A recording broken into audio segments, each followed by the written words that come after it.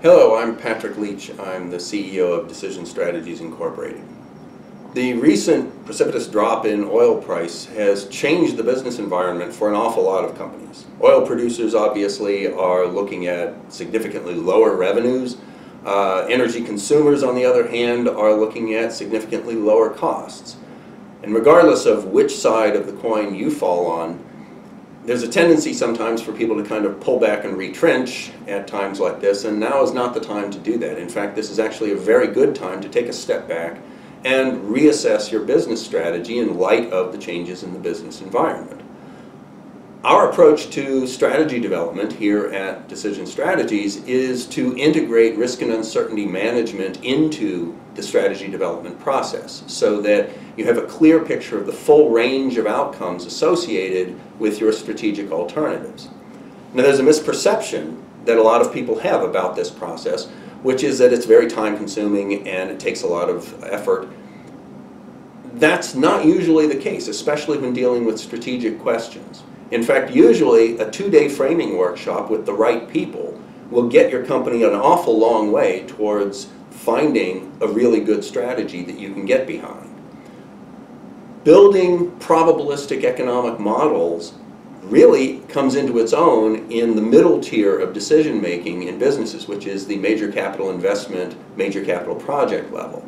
If you think of decision making in the three tiers, at the upper level you've got strategic decisions, portfolio level decisions, the middle level you've got major capital investments, and the lower level you've got operational decisions.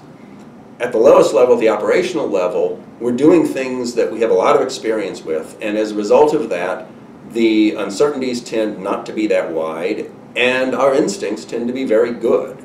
As a result of that, back of the envelope calculations, getting the right people in the room for an hour or two to make sure everybody's pulling in the right direction, and, and you can pretty much get to where you need to go.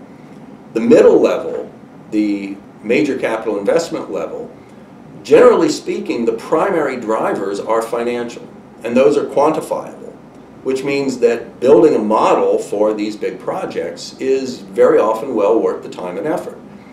Uh, you got to build the model, populate it with good ranged inputs, and run it, and you'll get non-intuitive outputs that will help you gain insights into which direction you want to go. At the strategic level, though, building a model to model your entire company is, is quite a daunting task and, and usually not very fruitful. More importantly, though, at the strategic level, the primary decisions are not just financial. They involve judgments regarding trade-offs to be made between competing objectives.